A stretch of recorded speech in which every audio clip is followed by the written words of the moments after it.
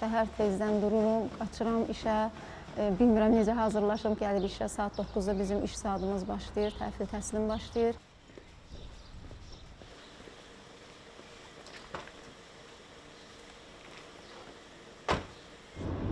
Əvvəllər bildiyiniz kimi idmanla məşğul olmuşam. E, Bizdə idmançı xanımlar var idi, Bəhriyə xanım. O mənə zəng elədi ki, bəs burada idmançı qızlar üçün işə qəbul var.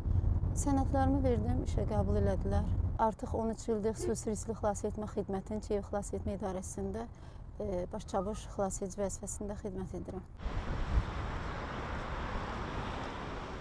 Köməyə ehtiyacı olan bir kəsi fövqəladə hal baş verdikdə onu xilas etmək mənim üçün böyük bir şərəfdir.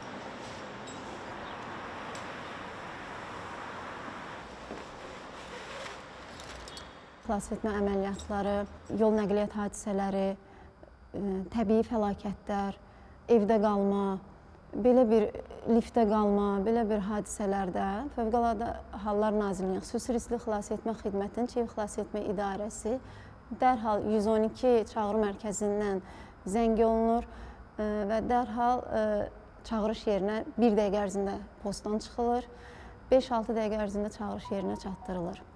Və bizim xidmətimiz bundan sonra başlayır. Bizdə belə bir şey olmuşdur ki, hadisə zamanı xilasedici, xilasedici yoldaşlarımızla birgə getmişdik və orada yoldaşı icazə verməmişdi ki, xanım xilasedici ə, kişi kişilər ə, xanımı xilas eləsinlər. Biz bilmirik bağlı qapı arxasında bizi nə gözləyir. Orada ə, bir narkoman da ola bilər, orada bir xəstə bir insan da ola bilər, orada hər bir şey ola bilər, bir ölü ölü ilə də rast gələ bilər, hər bir şey. Ora bağlı qapı arxası sürprizdir bizim üçün. Mənim həyat yoldaşım da ə, xilasedicidir. Xilasedici baş çavuş Salmanovdur.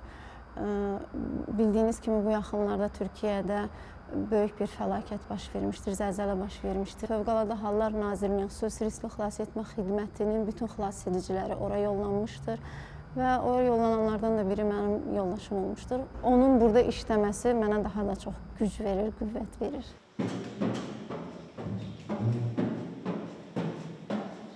İş saatim bitəndən sonra idmanla məşğul oluram.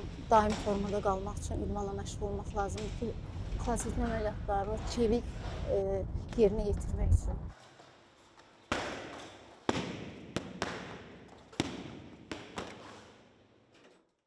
Daha sonra evə uşaqlarımla, ailəmlə məşğul olurum. Biz onlar üçün çox böyük fəxrik. Çünki onlar da istəyirlər ki, gələcəkdə bir xilas edici olsunlar və bunun üçün əlimizdən gələni edirik. İndidən idmanla məşğuldular. Bildiklərimizi şifahi də olsa onlara bildiririk. İnşallah ümid edirəm ki, gələcəkdə onlar da bu peşənin sahibi olacaqlar.